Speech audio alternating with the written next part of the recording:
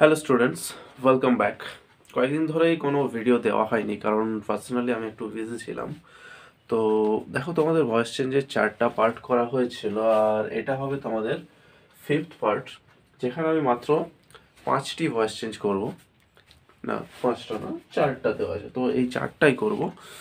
তো এই চারটা, যে সমস্ত ভয়েস চেঞ্জগুলো তোমরা আগে পর্যন্ত করেছ, সেগুলোর থেকে সম্পূর্ণ আলাদা।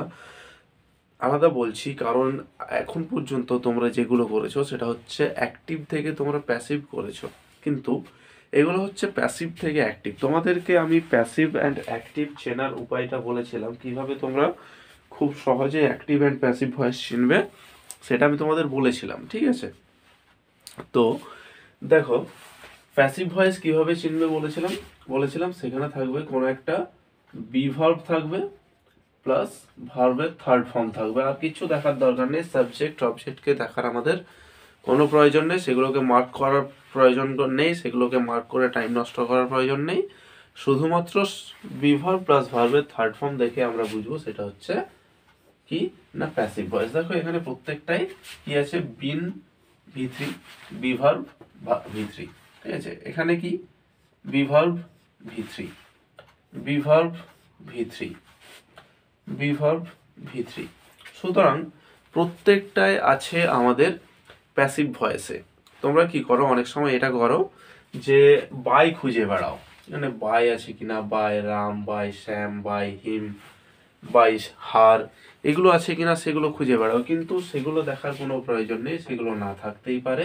এগুলো যেমন প্রত্যেকটা প্যাসিভ ভয়েস কিন্তু কোনোটাতেই বাই দিয়ে বা অন্য কোনো অ্যাপ্রোপ্রিয়েট প্রিপারেশন দিয়ে আমাদের সাবজেক্টটাকে শেষে বসানো নেই তাহলে কি এগুলো প্যাসিভ ভয়েস নয়?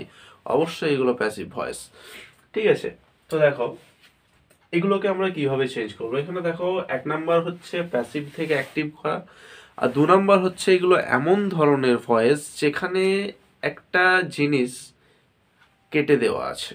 আর সেটা হচ্ছে কি? সেটা হচ্ছে সাবজেক্টটা যেটা, ধরো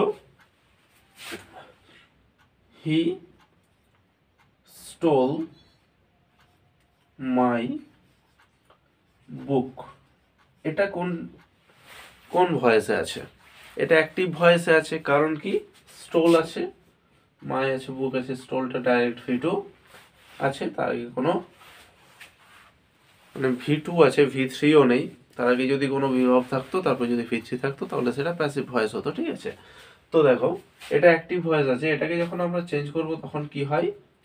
My book was stolen. My book was stolen. এবারে অনেক সেন্টেন্স থাকে এরকম যেখানে যে অ্যাকশনটা অর্থাৎ যে কাজটা, সেটাই বেশি গুরুত্বপূর্ণ হয়। কাজটা কে করছে সেটা ইম্পর্টেন্ট না। ইম্পর্টেন্ট হচ্ছে কাজটা কি।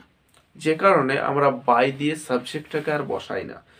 সেই ধরনেরই ভয়েস চেঞ্জ করা আছে এইগুলো। এগুলো প্রত্যেকটা প্যাসিভে আছে। এই যে চারটা আছে, এগুলো প্যাসিভে আছে, এগুলো অ্যাক্টিভে কীভাবে হবে? দেখো আছে my brain has been hacked এই এই সেন্টেন্সটা আমি হঠাৎ করে আমি ভাবছিলাম আমার মাথাটা সকালে ভাবছিলাম যে আমার মাথাটা যেন, কাল থেকেই ভাবছিলাম আমার মাথাটা যেন কেউ হ্যাক করে নিয়েছে। আই মিন আমি এমন একটা মানে ডিফারেন্ট ডিফারেন্ট থিঙ্কিং আসছিল। তো যে কারণে আমি এটা একটা স্ট্যাটাস দিয়েছিলাম। তারপর আবার ভাবলাম যে এটা তো একটা ভয়েস চেঞ্জ করা যায়। তাহলে কি করলাম? সেটাকে আরেকবার লিখে পরে নিচে লিখে দিলাম। এটা ভয়েস চেঞ্জ কে কে পারবি কর। তো দুজন রিপ্লাই দিল। ফার্স্ট আবির দিয়েছিল অ্যান্ড সেকেন্ড রাকেশ দিয়েছিল। তো তারপর কি করলাম? আরও যারা ওই মানে ওটাকে দেখার পর ওরা যখন অ্যান্সার দিল, সেটাকে আমি একটু খুশি হলাম যে ওরা দিয়ে দিল। যাই হোক বাকিরা কেউ মনে রাখেনি, এগুলো তো বলা হয়েছে আমার অনেকবার, কিন্তু কেউ মনে রাখেনি। দুজনই অ্যান্সারটা দিয়েছে, তো ওগুলো আমি যখন স্ট্যাটাস দিলাম, তখন ওদেরকে দেখে দেখে আরও অনেকে অ্যান্সার দিতে শুরু করল। যাই হোক, ওদেরকে যখন আমি স্ট্যাটাস দিলাম, তখন বলছে, স্যার, আমারটা স্ট্যাটাস দিলেন না কেন? বলে, তোরা তো কপি মেরেছিস তোদেরকে কেন দিতে যাব? ঠিক আছে? তো ঠিক সেরকম, দেখো, এখানে কি? আমরা যখন একটা প্যাসিভ থেকে অ্যাক্টিভে করব, তখন আমাদেরকে এই সেন্টেন্সটাতে সাবজেক্ট একটা বসাতে হবে। ঠিক আছে? এখানে my brain has been hacked এখানে হ্যাজ বিন হ্যাকড এটা হচ্ছে পুরো ভার্বের ফর্মটা এসেছে। হ্যাজ হ্যাকড ছিল। ঠিক আছে? যখন হ্যাভ হ্যাজ থাকে, তোমরা নিয়ম তো জানো হ্যাভ অথবা হ্যাজ যখন থাকে, তখন বিন যোগ হয়ে যায় প্যাসিভ করার সময়। সুতরাং অ্যাক্টিভ করার সময় কি করব? এক নম্বর হচ্ছে বিনটাকে কেটে দেবো। ঠিক আছে?